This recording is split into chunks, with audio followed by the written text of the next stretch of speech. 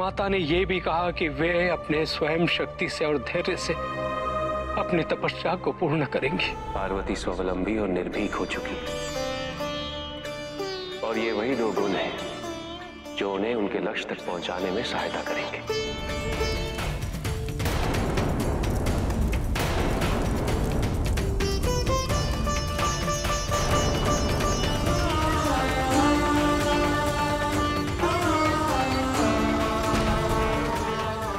के शरीर की चक्र अग्नि ने अग्नि तत्व को साथ लिया है। जिन पाँच तत्वों से मानव शरीर का निर्माण होता है पार्वती उन तत्वों में से एक तत्व से बाहर निकल आई है। हमें क्षमा कर दे। हमें क्षमा कर दे। उठो तुमने गुरु शिष्य परंपरा में एक अवांछनीय छाप छोड़ी है इंद्र। समस्त संसार ही नहीं बल्कि देवों के देव महादेव की भी अवहेलना की है तुमने। गुरुवर ये हमारा दुर्भाग्य है। अब महादेव ही तुम्हें इस अपयश और मानहानि से उबारेंगे स्वर्ग पर विजय तो हमने प्राप्त कर ली है पिताश्री। किंतु यहाँ के निवासी देवगण अभी भी हमारे अधीन नहीं है। इसका केवल एक ही उपाय है। सारे के सारे देवताओं का संहार करना। और साथ ही साथ उस कायर इंद्र का भी। ताकि भविष्य में उसके उत्तराधिकारी का संकट उत्पन्न ही ना हो।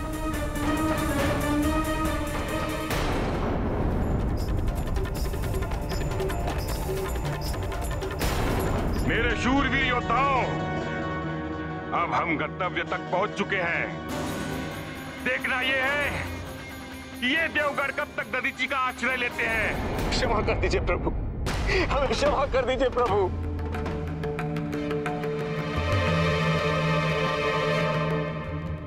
हमसे बहुत बड़ी भूल हो गई। गुरु भगवान का रूप होता है।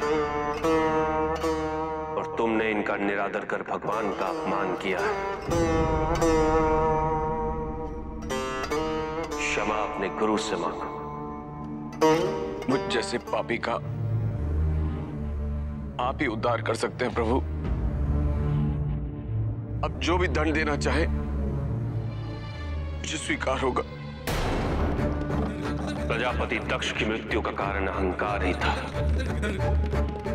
तुम्हारा दंड यही है कि तुम अपने किए का पछतावा लेके जीवित रहो। आत्मग्लानी के साथ।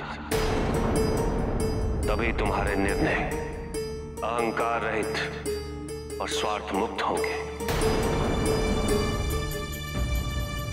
बृहस्पति, आप देव इंद्र के साथ और अन्य देवताओं के साथ ऋषि ददीची के आश्रम के लिए प्रस्थान करिए। वही एक स्थान है जो असुरों से सुरक्षित है।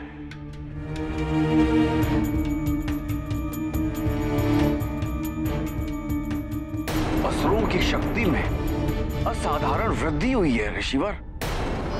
आप इन देवास्त्रों को अपने में समाहित कर लें, ताकि ये अस्त्र शस्त्र उन असुरों को यथासंभव प्रयास के पश्चात भी प्राप्त न हो। आप सब निश्चिंत रहें। नमामि शमीशान निर्वाणरूपं विभुं व्यापकं ब्रह्मवेद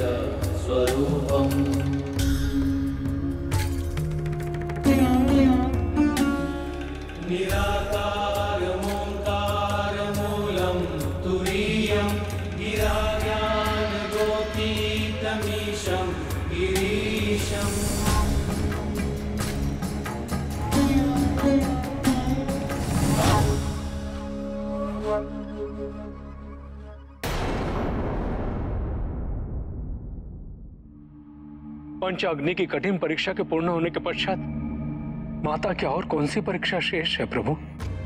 जल तत्व की साधना।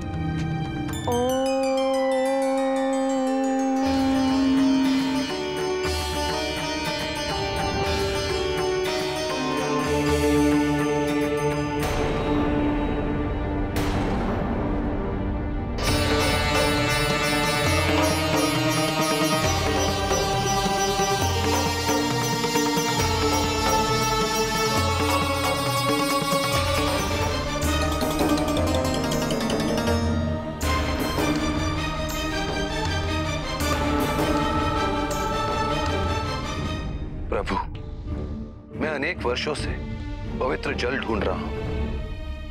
केवल गंगा का ही जल है जो इस धरती को पापों से मुक्ति दिला सकता है। इस धरती का उद्धार कर सकता है।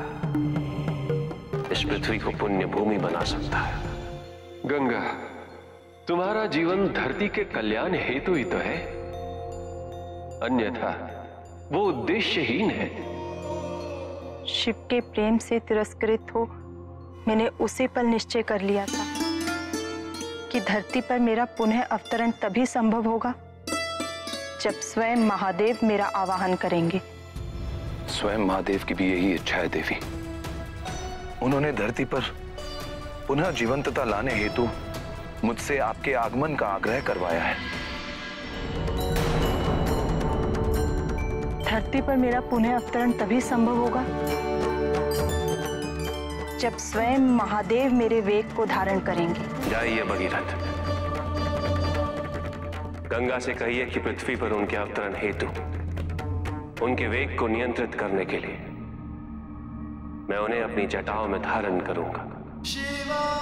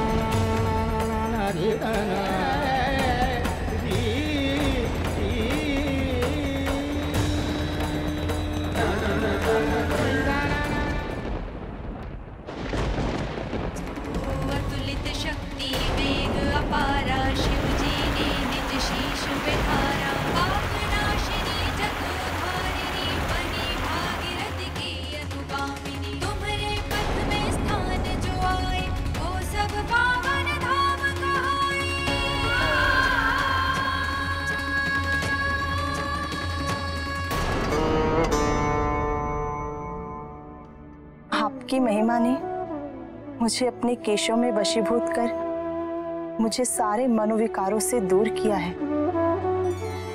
अहो भाग्य महादेव, आपकी इस अनूठी प्रतिष्ठा ने मुझे भी चंद्रमा के समान शिरोमणि बना दिया। तुम पवित्रता और दिव्यता की श्रेणी में श्रेष्ठ हो, गंगा। तुम्हारे इसी गुण के लिए मैंने तुम्हें यथोचित पद और सम्मान दिया है। मेरे द्वारा तुम्हें अपने केश में धारण करने का कारण। तुम्हारा जनहित अभियान भी है।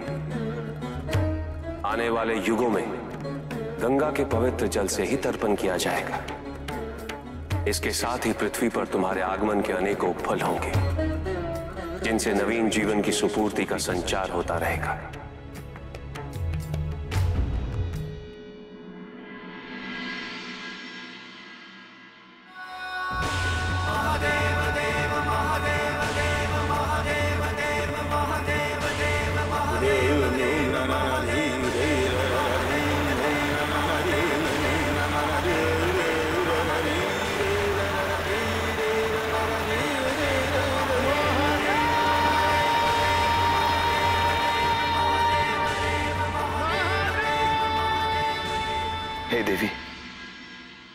मेरा नमन स्वीकार कीजिए।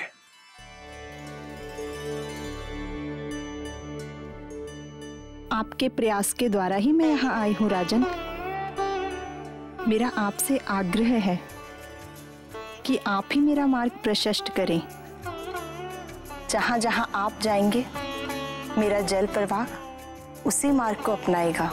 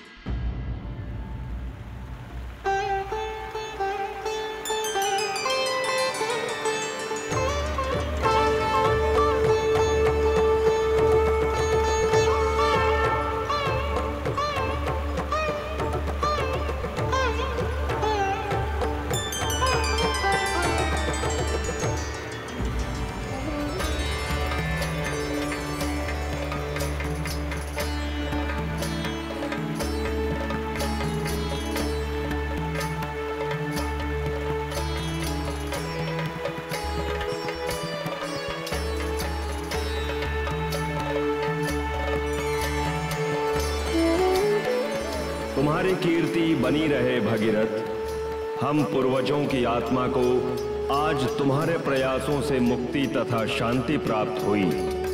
हमारा आशीर्वाद सदैव तुम्हारे साथ बना रहेगा।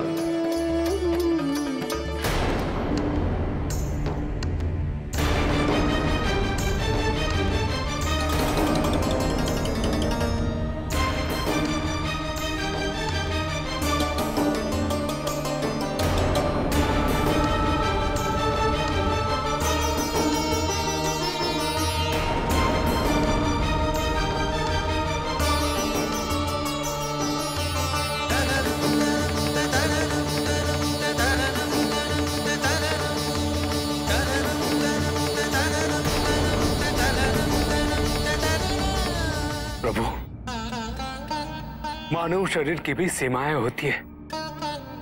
यातना सहने की क्षमता होती है। ऐसी कठोर तपस्या पूर्ण करते करते कहीं माता का शरीर उनका साथ न छोड़ते प्रभु। अब जब तक हमारी तपस्या पूर्ण नहीं हो जाती, वनस्पति ही हमारा आहार होगा।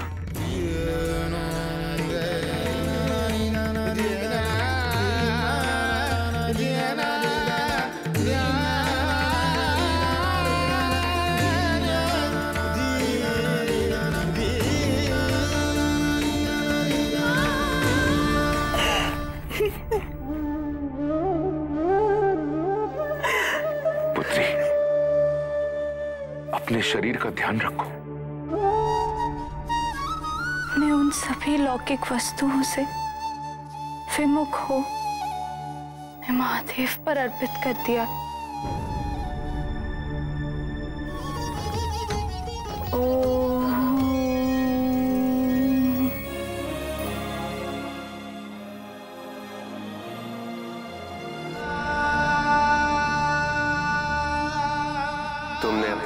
अपना सब कुछ अर्पण कर अपनी तपस्या में एक नया अध्याय जोड़ लिया है पार्वती। आज से तुम्हें अपर्णा के नाम से भी जाना जाएगा।